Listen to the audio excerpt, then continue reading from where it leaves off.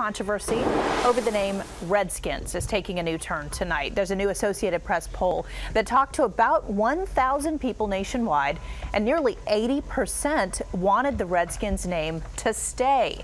Jay Korff live in the district with whether people in our region believe that these results are really accurate. Jay?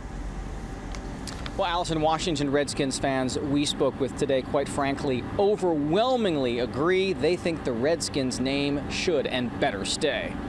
Walter Reeves is such a big Washington Redskins backer, he routinely hands out RG3 posters to strangers. I pass them out to all the Redskins fans. It's no wonder, based on the plethora of team paraphernalia in and on his minivan, that his family calls him Redskins. My nickname is Redskins. Really?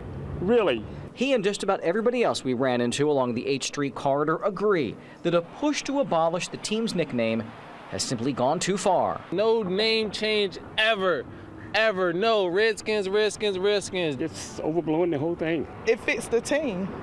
That's a that's that's the name for the team, the Washington Redskins. A new nationwide poll agrees. A whopping 79% think Washington should keep the nickname, 11% think the team should change it, 8% are not sure. People say they take it a certain type of way because of the name, but I don't really think it's that serious anymore. Just this week, District Councilman David Grosso introduced a resolution with broad council support that says the team's moniker should be dropped because it's derogatory and racist. So we're asking Dan Snyder, the NFL, um, and others who are willing to listen to step up to the plate and really do something different with this name. Another D.C. resident goes as far to say the team's glory years will always be behind them as long as they keep that name. I think our franchise is not winning because we have an omen on our name and we won't change it.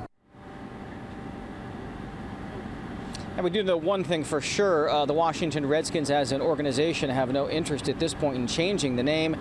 Despite that fact, they declined comment for this story. Live in the district, Jay Korff, ABC 7 News. Thanks, Jay. Also new tonight at 11, President Obama.